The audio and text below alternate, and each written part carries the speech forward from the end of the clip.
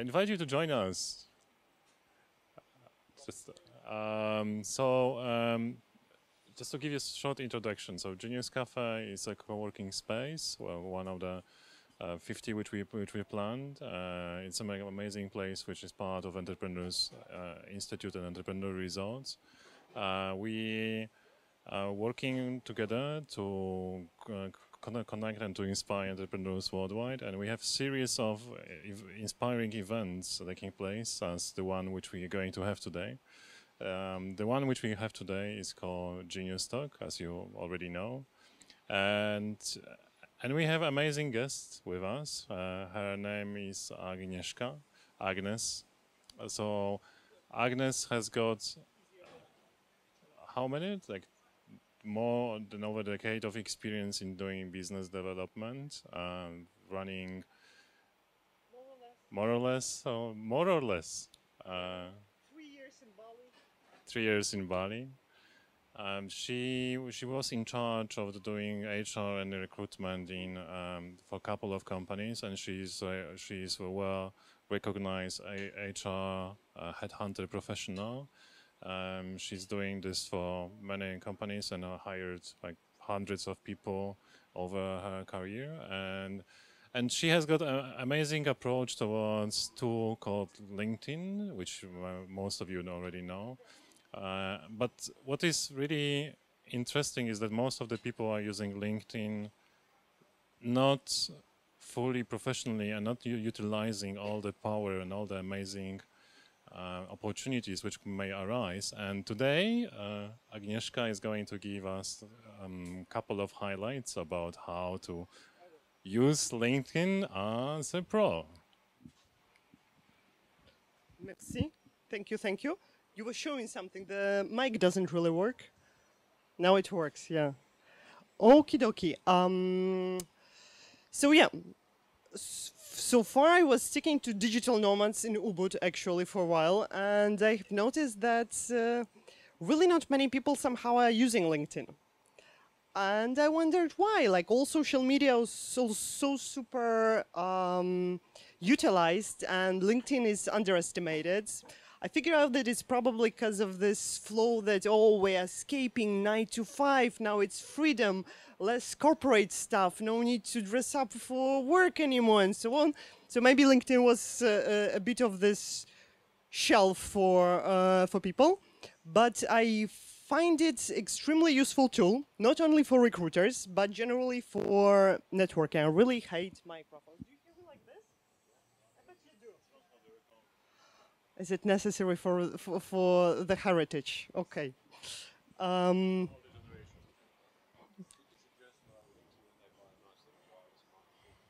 yeah, so they're kind of like... Um, cool, so um, that's my lovely profile. Um, and let's start few things. Um, first of all, actually, to use uh, LinkedIn profile when I'm, when I'm working with uh, either entrepreneurs or uh, business people or someone who is looking for a job. We're actually starting with the CV, which is a bit annoying for people somehow. Quite often those are professionals who were referred and referred and they felt like, no, no, no, I'm not, I'm not gonna need CV ever in my life again. Yet, um, it's a very interesting exercise. It's part of your professional branding, no? and uh, part of uh, sort of defining yourself through those keywords, which are just mandatory to put in your LinkedIn profile, which later make you actually searchable. It doesn't matter if it's a new next company that would like to onboard you or another partner who is looking for someone to work with. Um, so yeah, running through your CV, digging it out and uh, freshing, refreshing it a bit is uh, strongly recommended before you try to play out with LinkedIn. And later I will, I will show you how, though just few more things. Um, if you will actually uh, put those keywords, think of uh, what are your biggest strengths are, and uh, just see them across all the previous positions that you held, uh, it becomes an automatic lead generator. you are actually searchable because people use uh, LinkedIn a lot just to to track some companies, to see who is working there, to see the competitors, and so on. And uh, as I was preparing this presentation for Bali, and everybody is so much into being here and working remotely, so yeah, it's also there. Uh, there are quite a few positions uh, remote. I, I did uh, this few weeks ago for, for the sake of the presentation, and those were just from the day before the new positions. So there are plenty of them, and I put uh, very specific something uh, according to to my profile. So it was marketing, business development, management, something, and it gives quite a good result. So why not try? Uh, moreover, uh, work is not just work right now. Uh, we are not that much connected to the place or time, so actually position that people show up there can be just another project that you on board. By sending your CV, of course, you, you get the authority points and you show yourself as a professional, but later on you can actually switch into the discussion that it's not the only project that you're gonna have. It's more about uh, delivering and more about the task list and how much money you would like to get for that. So that's just another point of view how to see applying to a job. so yeah, that's more or less. And uh, while doing that, apart from the LinkedIn profile, um, it should be quite similar to your CV. Uh, yet, uh, as a recruiter, I just need to say a few things so other recruiters do not suffer. Uh, it's better to keep the formatting simple uh, of course, people might reformat it or might put it into some kind of CRM. So the less graphical, the better. I, I know that there are designers and and uh, urban designers and graphic designers, and they have to do it in a really pretty way. But the less less is more actually. Also, funny thing, naming file. I see all the time just tossing those hundreds of CVs every day. I see that people start uh, naming the file with CV, and I guess like 98%. And then when I'm trying to research it once again, everybody starts like this. And I remember people, uh, as most of us do, by the name. So it will also make easier to find you again if you uh, name your first and last name CV and put something about you, like uh, uh, your industry or the area that you would like to work, or maybe that you would like to work remotely. And just keeping it in the name will make you best, better, better, easier to find, let's say. Um, I know it might be just uh, one or few percent of uh, your plus for your luck in the future, by why lose it? It's handy. And uh, important thing that is quite often missing, also among my friends who are looking for a job and uh, asking for some uh, career strategic advice, they skip summary. Summary seem to be a bit um, unnatural thing. I'll show an example of mine, my CV. Uh, pom bum, here it is. No?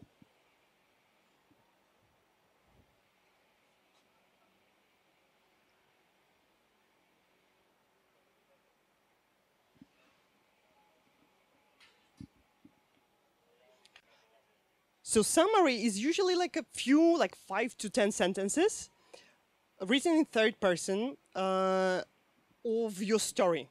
It's basically like a very short story of your success and where you are right now and where you would like to be. But from what I see, it's extremely difficult to complement yourself in those few sentences. Nope, doesn't work. Oh well.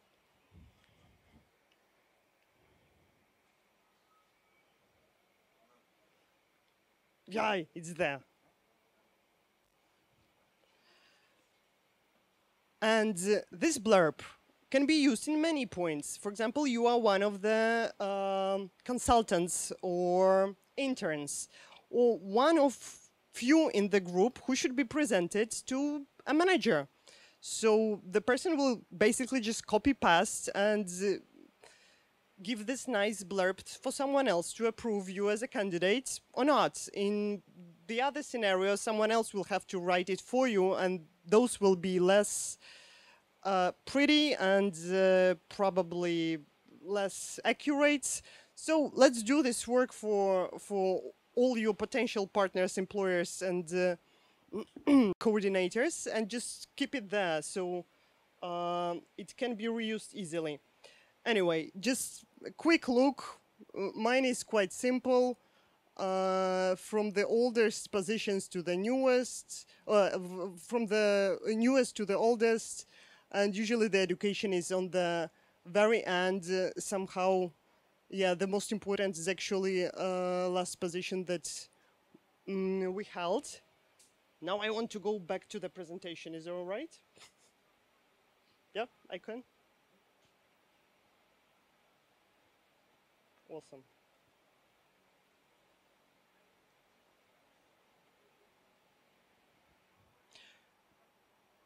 So just to have, I, I want you to leave this meeting with something tangible, with uh, something that you can actually use, and that would be the summary. I would like to make, yes, we have actually four people, so it's enough for making pairs. Uh, it's a small exercise, actually, to create this type of summary, which you can later use either in your CV or your, in your LinkedIn. Uh, so the first part is about interviewing each other. You'll have five minutes to speak about yourself. Uh, and you see a few questions that, that can be asked, like what was the place uh, where you utilized your talents the best? Or which next, mm, which would be the perfect next position? Or where you were the, mo- the happier and, and uh, it's more about looking for those high points. So you have five minutes to talk to your partner about that. Then we switch.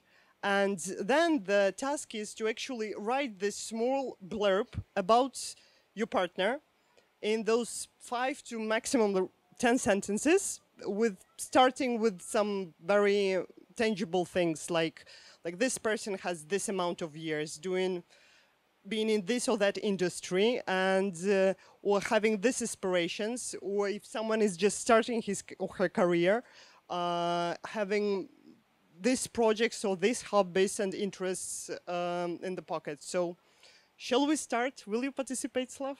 Please into linkedin and look for various opportunities that are hidden there so yep what's the best tool to to get a new gig, new job, new partner? What's the most important? Yeah, as a hint, not it's not CV. It's the slide is kind of nice. Networking, face-to-face communication, of course, and all kind of relationships that you have nourished uh, in whatever form. Um, that's why LinkedIn is, uh, due to different researches, is on the top in terms of business to business communication. And um, that's why I was surprised that it's so underestimated. And it's quite actually easy to drive uh, traffic to your own website, just uh, doing it, it strategically. Uh, meaning that you will be posting whatever your content is. You can keep um, raising your authority by posting informative things on uh, uh, LinkedIn in your page in your profile. Just taking people to finish the topic to read from your blog and then uh, or website, and there you can actually proceed with selling. Just selling doesn't really work on LinkedIn. It's not that good. It's better to inform and educate people. And uh, again, uh, there is whole such thing as social selling, and LinkedIn is even trying to educate people and distributes all kind of guides how to do the social selling, which basically means tapping into your network and trying to talk to people to sell something. And I got into a huge discussion where uh, people were annoyed with the fact that someone is connecting with you and a few minutes later buy this buy that buy do this do that.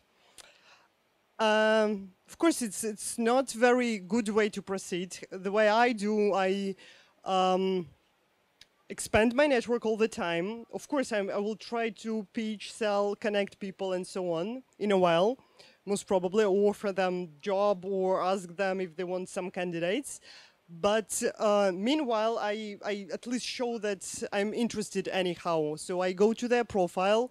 I like, I see what they, I just take a look what they do. I like what they posted or any articles. I just involve, in, engage with their activity out there.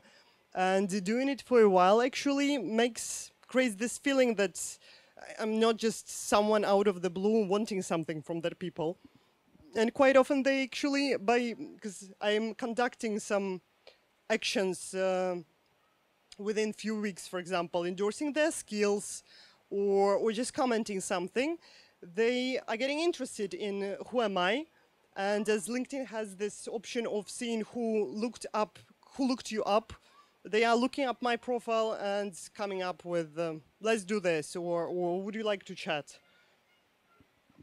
Mm and yeah, uh, again, LinkedIn is on the top in terms of um, um, marketing initiatives, but uh, in, in, terms of providing um, professional content which is converting, um, meaning that it should be only informative. Just don't even try to, to sell anything. Usually those articles are not being touched and uh, somehow people who are just being generous, giving away quite a few tips. Uh, sometimes I see that some consultants are basically giving away their know-how, but uh, through this, people are driven to them and uh, would like to stay in touch with them and pay them actually for, for their work, even if it's the manual is already there. Uh, it's it's all not a rocket science, but uh, yeah, just try to be generous. That's my message. And another lovely feature, uh, very useful, is mailing list. Um, LinkedIn is a very uh, convenient way to start your mailing list. It actually, um, I, I gather 15,000 people and among them I can select them. So actually LinkedIn is letting me to download the whole Excel, nicely segregating people with first, last name, the position, company that they work with, and their email. Um, and that makes me re makes really easy to create different mailing campaigns um, and collect more people from the same industry as LinkedIn's uh, in, um, engine is suggesting if I'm searching for digital marketer uh, in Asia Pacific or in Australia, it, will start suggesting me people uh, to take a look from the similar either geographical uh, area or similar industry. So what can you do eventually? You can, uh, quite often the best digital asset is the mailing list. It's nice to start your own. And uh, as the title is the most important thing that makes people actually open those emails, it's easy to create them as now you have uh, the information about who they are in terms of uh, their position and where they work.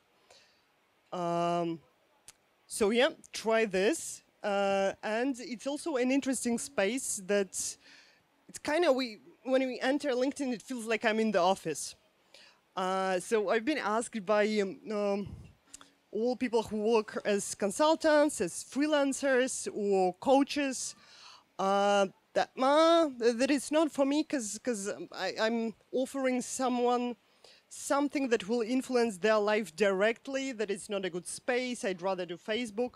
But 80% of people use their private emails to launch their LinkedIn account.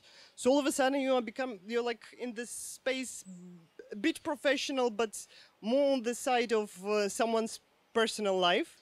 So it's absolutely fine to craft some uh, solution suggestions uh, and send through through this mailing list.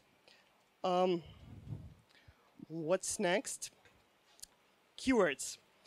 As we have the blurb, I hope it has quite a few keywords that um, you could think of that are most important, because that's how recruiters or people who are looking for partners or specialists will search for. They'll basically, like I, I did an example, is a digital marketing B2B.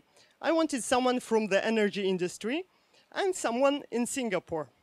And of course, I got the guy, he was on, totally on the top. And this is the free search, because LinkedIn has all those type of memberships, which costs some coin per month, but this is available to anyone. So that's what I see. I try to search in a different way. And of course, the first hit was with people who placed the most important few words, digital marketing B2B, and they kept it in the uh, description.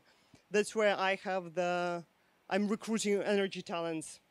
Uh, and it's, that space has uh, probably enough for 10 words, at least, if you put them nicely. And that's the recruiter view. Um, as I go, uh, for example, I found the specialist, and I have like 10 of them. No time to read carefully, but I selected the proper words, so that's what I do. And that's what LinkedIn is doing for me. Uh, all those digital parts will be highlighted through all his CV. And that's how we select people for the shortlist. I just take a look and I see how, what is the density of uh, keywords that I need. If it's quite high, okay, I'll talk to him later.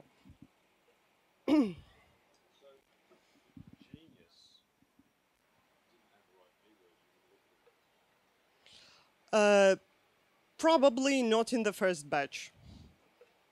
And it's a shame because uh, uh, when the market is when the market is tough, and I know that there are those geniuses, but they, I need to dig them out, and that's literally what I do. I give them, I suspect that they work for that company, so they must have learned how to do that. So I give them a call and bother them till they till they make their CV properly because again, I have colleagues in the in the Singaporean agency who are also very short with the time. So if I bring them shitty CV saying, "Oh no, no, this guy is cool," no, thank you. so um, it has to be written. Oh well. Um, ah yeah, learning part. I enjoyed it quite a lot. It's uh, mm, it's in a paid version, but you can, can get it for free for 30 days. LinkedIn has actually so many uh, well-crafted online courses. I was surprised. And it's just cool to, to dig into it for a while, watch them. They have small quizzes, and they actually put those certification information into your profile, and then it's also a keyword for you. So it's, it's a nice uh, feature. Um, and just one thing, uh, to be careful with your profile. Really, when you put your blurb in place, you have this perspective of you as a professional. So try to digest information having those glasses on you. So if you are a communication specialist, pay attention to what you're commenting, what you're liking, because all these things will basically sit in your profile not endlessly till they will be pushed by the other things but if i'm not active those things that i just liked i didn't share but anyone who will get into my profile will still see the the latest things which kind of tag me somehow and uh, yeah i have your emails that's great. Um, I have quite a few nice guides uh, depending on your needs. Either you are hiring or you need some kind of marketing tips or selling tips. Let me know. I have like really 10 of them. Those are, let's say, on the top of the pile. So if you would like, I'm happy to forward them to you. And let me know if you have any questions.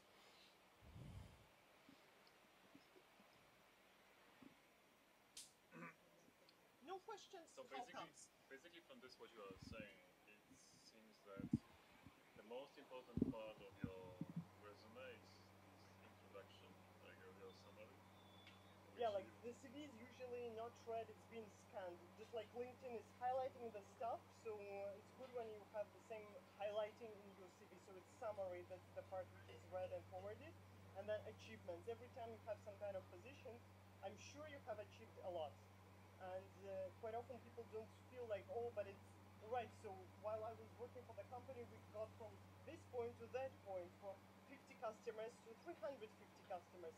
But that's the team did, yeah. But for example, you were marketing person, so it was a huge uh, uh, part of your work that, that this happened, and especially those numbers, the growth in percentage, uh, everything that is tangible should be in uh, achievements, and that's how it's usually read. The summary, and then okay, achievements, nice numbers, nice numbers, nice numbers. Then somebody looks if it's a good mix. For example, when somebody is applying for general manager.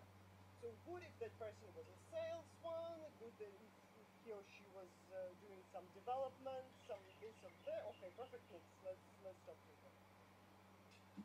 How about people who are in the creative industry, or like in the industry which is not falling into category of like a regular star?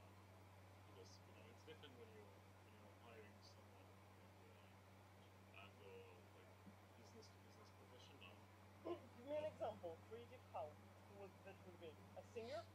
A porn star? Director, director? Director of what? movie director. Movie director. Easy peasy. What's what's uh, un?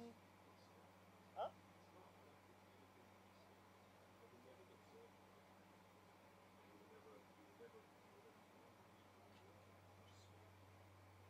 And that's the question. If you would like to be a power behind the scene and not bothered, fine.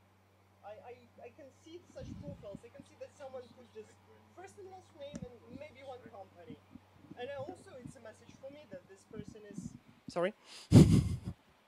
I uh, misbehave uh, with the microphone. Uh, and this is also a message for me that someone is that high of a specialist that they would rather to hide and pick who they're gonna work with. when it comes you can hear me right when it comes to creative stuff this concept has led to cheaper and cheaper production. So major international companies are now searching these things for the lowest price they can possibly get on something that's un- unreasonable so it's a really it's a really strange way it's working It's not really lowest price. Now I have a client who looks like Well, have the all money direct in the world, and I'm just poking professional, saying like, just tell me how much you want. no but that's my direct experience with what i'm seeing coming off these these platforms That the production is just being pushed to the It doesn't floor. mean anything because all it means is numbers now, which is a really strange concept that will hopefully blow up soon. yeah, because words are better than numbers. So you said that you are difficultly searchable, but will it hurt if you would put yourself out there with keywords and there is a nice place because there is embedded blog. Uh, you can see that there is this relax. Uh, nothing is under control. That's just a picture of one of the articles. You can basically keep them there, including video. And video is a next thing probably for LinkedIn as well. As I yeah, see I that people are. I've got, putting I've got stuff on there, but I haven't got a CV like you suggested. I'll go home and work on it. But See. what what's your uh, what would you like to achieve? Would you like to have more customers, or you would like to be a special artist? I got enough customers. underestimated and Uh, so I, on. I got enough customers. It's good. so good on you. yeah. Give away the microphone.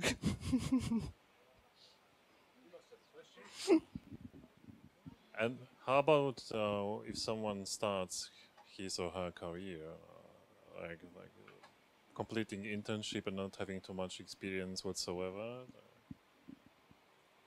but you always have some kind of project, some some some extra curriculum stuff that you used to do in uni, and so you put it all out there. And it doesn't matter if it was a month or two months; it's worth mentioning. Uh, there is also a part for for volunteering, for cooperation with the organization. I, I'm not fan of fake it till you make it, but uh, it's worth mentioning. And uh, I- I don't know people who did nothing. And they're like, I have just a degree. No, you don't. I'm sure you, you did plenty of courses. You volunteered somewhere. You tried some kind of creative project and uh, you dish it out. Is it useful to put information in several languages or just in English or? Uh, it depends on the market. I spoke to a German-speaking marketer. He has uh, and he's he works for German markets, so of course for some international gigs he keeps English one, but uh, German is his basic. So uh, maybe.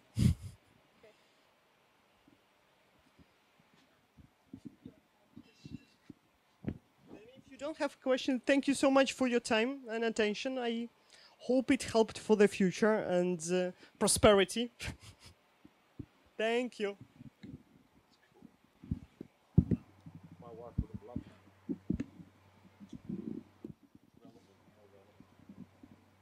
Leave your email. I can drop you some uh, information. Maybe she'll find it useful.